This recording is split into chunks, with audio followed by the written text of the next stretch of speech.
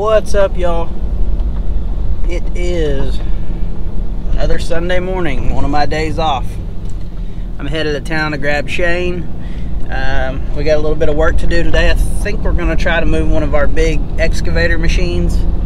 Um, I don't know yet. We got to pick our trucks up from the shop, kind of get those situated around. I believe Matt got the corn header fixed from our fiasco we had last weekend.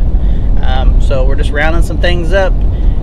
We are going to water rice for the last week, this coming week, and then we're going to start draining some. So that's what we do towards the end of the season. We drain the water off of it, let it dry up. That way we can harvest it on dry ground as long as it doesn't rain a bunch. So anyway, stay tuned. What's up? We're down here at the grain bins. Uh, I'm going to show you the other thing that we got the other day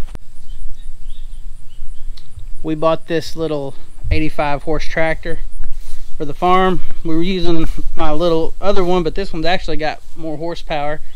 Um, it's just a four-wheel drive 2140. It's got two hydraulic remotes on the back. It's got uh, quad range transmission. But this will be the tractor that we can use for filling levees, different things like that, running augers um, you need a little tractor around because you don't want to tie up one of your big ones when they can be doing something else.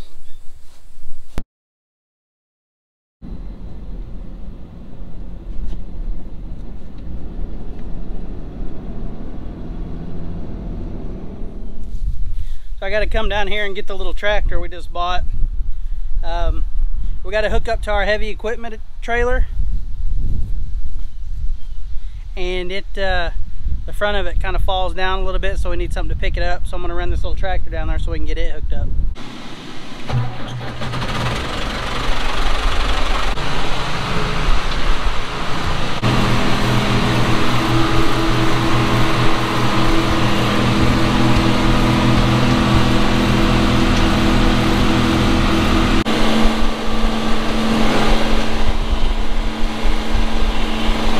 Well, after several failed attempts, we uh, finally got the low boy hooked up to the Freightliner. For some reason, the tongue was dropping down, and we had to get our Mini X up here and pick it up. It was a it was a mess. Nothing can ever be easy, but we got it hooked up now, and we're headed out to the big Komatsu excavator. I'm gonna bring it to town.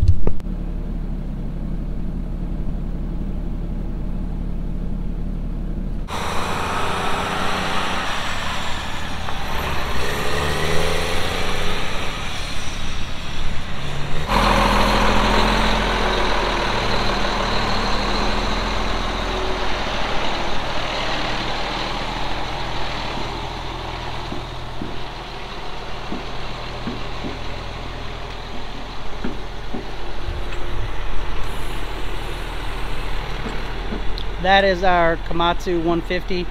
Uh, it weighs around 37,000 pounds, I think. I'm sure somebody will correct me if I'm wrong. So we've got the big machine loaded. We're headed up there. Hopefully this solves our stump problem. We don't know for sure that it will, but uh, this is our best chance at it. So we're going to follow him to town.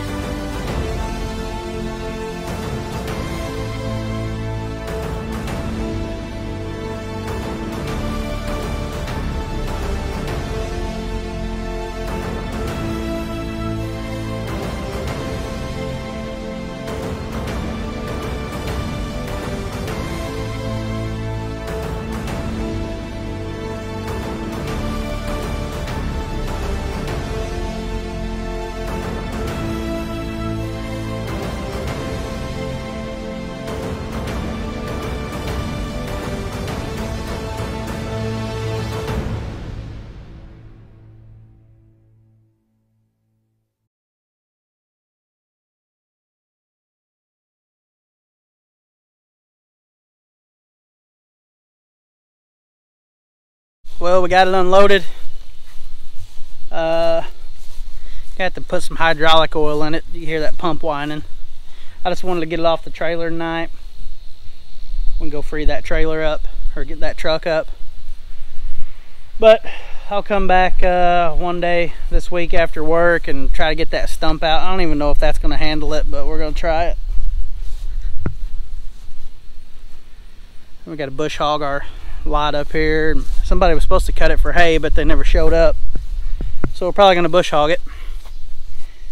But we're either going to get the stump out this week or we're going to bury that joker where it sits. I don't know.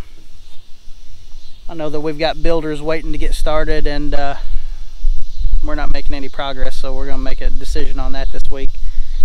Corn headers put back together. Shane and Matt put that back together. We're going to run through the combine. We got some things to tighten up and check and leaks to fix and shields to put on and it'll be ready to go. Anyway, we're gonna call it a night. Thanks guys for watching. Please like, subscribe, share, uh, hit the notification bell. It helps us out a bunch. Thank you guys.